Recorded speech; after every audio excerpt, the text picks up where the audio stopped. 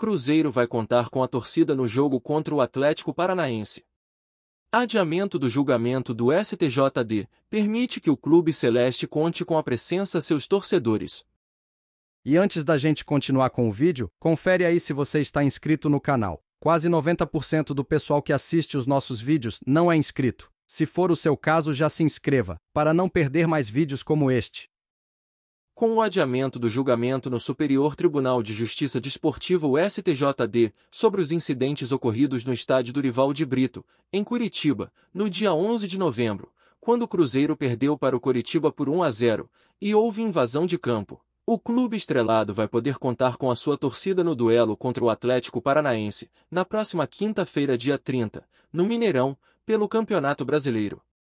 Cruzeiro e Coritiba foram punidos preventivamente e estavam jogando com portões fechados como mandantes e sem torcida como visitante.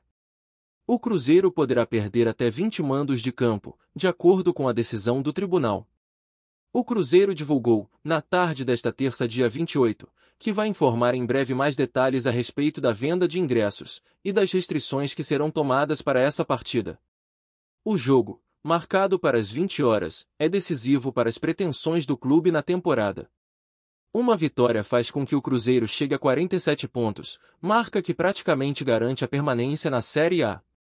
O julgamento de Coritiba e Cruzeiro estava marcado para segunda-feira, dia 27, e foi adiado para a próxima segunda, dia 4, quando enfim, os dois clubes serão julgados pela primeira comissão disciplinar do STJD.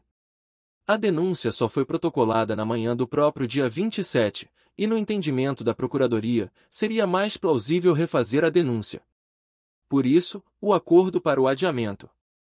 Antes de continuarmos, me diz aí, você está gostando do vídeo? Então deixe o seu like e ajude o nosso canal a crescer muito obrigado. Na partida do dia 11 de novembro, integrantes de organizadas das duas equipes invadiram o gramado logo após o gol do time paranaense, aos 44 minutos da segunda etapa. A partida precisou ser paralisada, e foi retomada após quase 40 minutos depois da intervenção da Polícia Militar. Poucos dias depois, tanto o mandante Coritiba, quanto o visitante, o Cruzeiro, foram punidos preventivamente. Em caso de pena, o artigo 73 do Regulamento Geral de Competições da CBF em 2023 prevê que o time punido deverá jogar em um estádio que esteja, no mínimo, a 100 km de distância da cidade sede do clube. E aí, torcedor? Será muito importante para a equipe poder contar com a sua torcida. Comente aí o que você achou dessa decisão. Daqui a pouco eu volto com mais notícias do maior de Minas para você.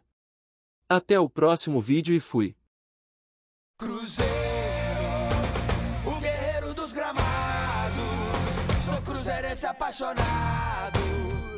E pra sempre eu vou te amar.